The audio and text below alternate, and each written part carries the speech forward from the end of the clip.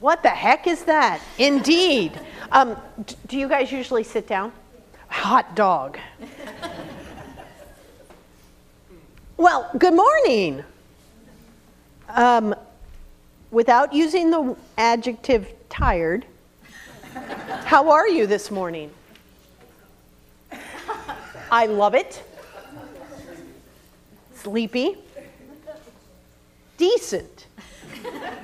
All right, I will take all of those answers.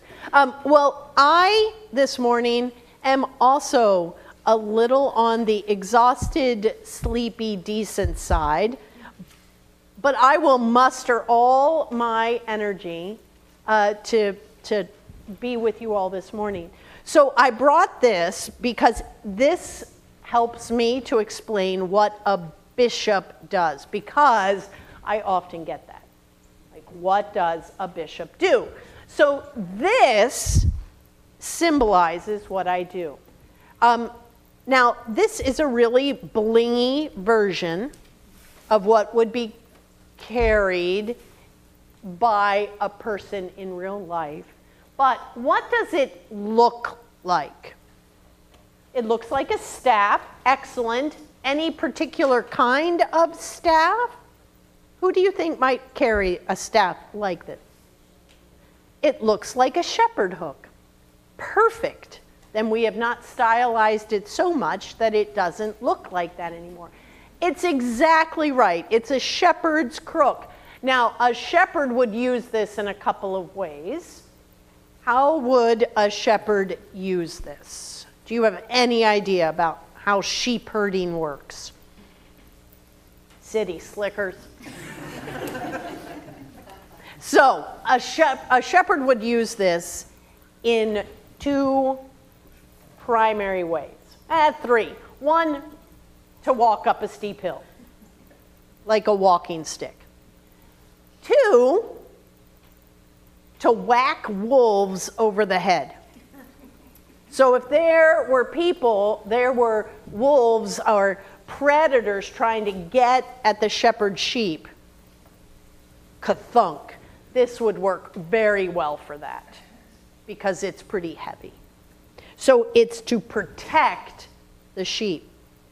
The other way, now this one does not work well for this, is that a shepherd, if a sheep gets itself into trouble, this is usually open and it goes around the sheep's neck in order to pull it back to safety. The other way that the shepherd could use it is to use this end and just draw the sheep sort of back to where they're all together so that nobody is out in left field. So, the shepherd's staff is protective and gathering. That's what I do. I protect and I gather. That's the purpose of a bishop. And I do that in a region, in an area, because believe it or not, there are people out there who want to do harm to the church of God. And it's my part of my job as bishop, as shepherd of this big flock, to help find those people. I don't literally whack them on the head, no matter what I might want to do. Um, I figuratively whack them on the head. And if there are congregations or individuals that might be straying a little to one side or the other, I might gently draw them back or a little more forcefully pull them back from the edge in order to protect them. That is what a bishop does and I am delighted to be here today to have to do neither of those, but just to hang out, because that's the other thing that a shepherd does. Usually they have like a ukulele or the ancient version of a ukulele um, and they play songs for the sheep and sing to the sheep. Um, I will not be doing that for you today. Um, so, thanks for coming up here and learning a little bit about what a bishop does. Um, I don't know what your normal tradition with Pastor Steve or Deacon Lindsay is, but I'm going to pray with you before you go back to your seats. Would that be all right? Let's pray. Dearest Jesus, you are really the good shepherd. You are the gate and the voice. You are the one that calls us together. You are the one who protects us.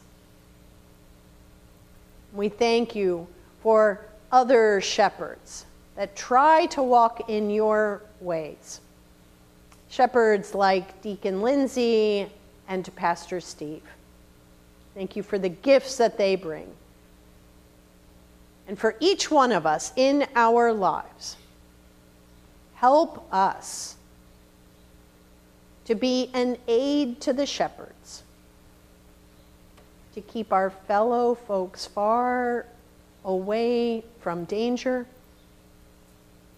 and to help defend them when they find themselves in harm's way. Help us always to listen to your voice. Amen. Thank you all so very much.